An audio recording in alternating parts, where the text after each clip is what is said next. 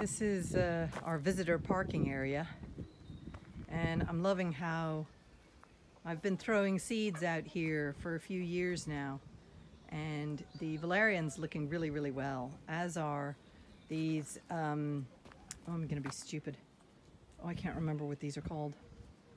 Oh my little head. That's Roberts the purple stuff.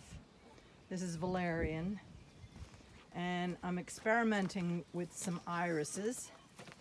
There's a very dry iris. It doesn't mind being dry. I've just planted those this year. There's one and a second one there. And there's this blue stuff, which I don't know what it's called, but I love it. And then I have some seedlings that I sowed of uh, um, Cotoneaster. So there's one there and then there's several more along. So I'm hoping the Cotoneaster will grow. Over here, this is a, this is the hen run. Everybody's always asking me about the hen run. And I have the Montana growing over it. There's Wisteria montana and passion flower.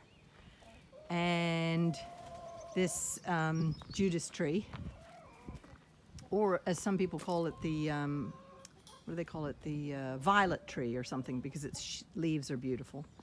And in this bed there's some irises and thyme, um, uh, peonies and some lilies. And over here I've just this year planted a climbing rose and there's artichokes and daisies and then these are more um, Iris stylosa. They flower in the winter. So these are the hens everybody's been asking me about. And every day I pick them delicious herbs and things like that. They're also fed grains.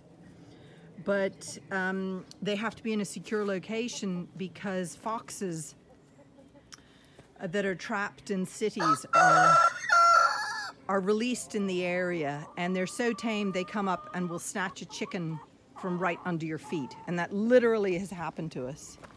Oh, here's yarrow. This is another dry weather plant that loves loves it when it's dry. So there's yarrow, and you can see there's also dandelions here, and artichokes, and there's honeysuckle that I've got growing, started planted to grow up. Here's the passion, passion vine that'll grow, the passion flower.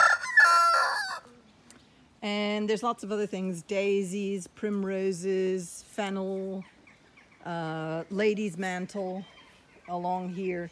So it's all planted up around the hen run. So there's a lot of biodiverse stuff around there. But the chickens are kept, sadly, can't be free ranged and are kept in a pen. But every day they're given lots of delicious food that I go out and pick for them, whatever the herbs are that are going at the moment. I had to put this mesh up because they were reaching through the fence and eating the plant life, which, yes, they're welcome to to an extent, but I'd also like to have the plant life around um, for the pollinators as well, because those are a multiplicity of seasonal plants that will be flowering at different times of year for the uh, pollinators and insects and things like that. So yeah, so this, for example, the climbing thing, the wisteria was earlier. Now it's the Montana clematis, and then all the rest of the summer it'll be the passion flower flowering up there. And then here's another plantation of trees and shrubs that I have in here that I've been slowly planting on. There's uh, sweet chestnut, beech trees, spindle, um, pheasant eye, St. John's wort, um, da, da, da, da, spindle, I've already said that. Oh, and then over here, this is this, this is a black uh, elderflower. And then this is pokeweed. And the flowers are amazing. They go this magenta color pinky color and then they go, the berries are magenta. So this is, these are gonna flower soon as well. And then these are some wallflowers that are really beautiful. They've been flowering since March, February, March. And then you can see the cow parsley and the long grasses and the silver birch, spindle, cherry, apple plantation in there that I've planted over the last number of years. Slowly but surely, tree by tree. And all the long grasses uh, all in here and nettles. So that is, um, and here you can see the spindle. The spindle has flowered and those are the berries that are going to be fruiting. So yeah, busy times. Oh, and the beautiful smelling lilac. Oh, it smells heavenly. But that's not the dark lilac. I took cuttings of the dark, dark lilac that I have in another location. And there's oak trees down here and more cherry trees. And that's a big rowan right in front. Sadly, this tree's died, but you'll always have trees that just don't like something. But this rowan is a beautiful one right there. Doing really well. Blooming like crazy.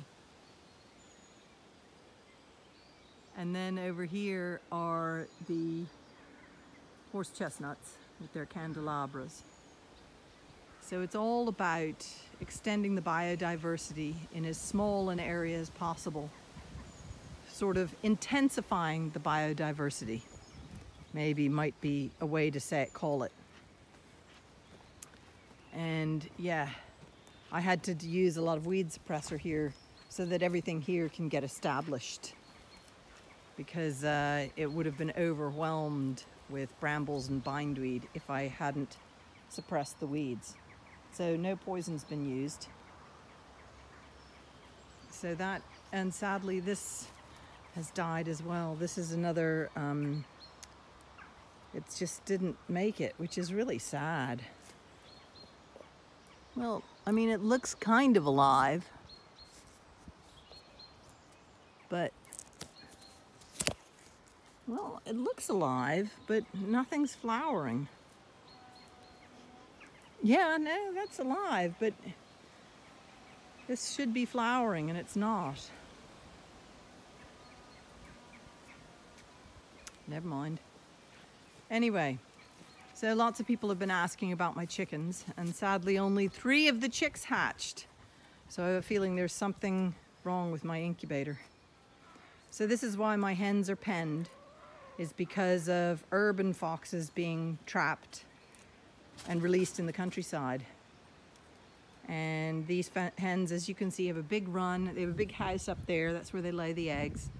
And every day I feed them delicious, uh, fresh vegetables and things like that. Isn't that right, Inca Dink? Inca, you've got, look at you, you're covered in dandelion dander. Aren't you, pup? Dandelion dandered pup. So here's everybody.